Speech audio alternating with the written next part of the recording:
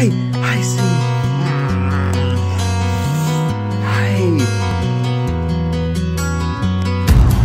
This time, this place, miss you.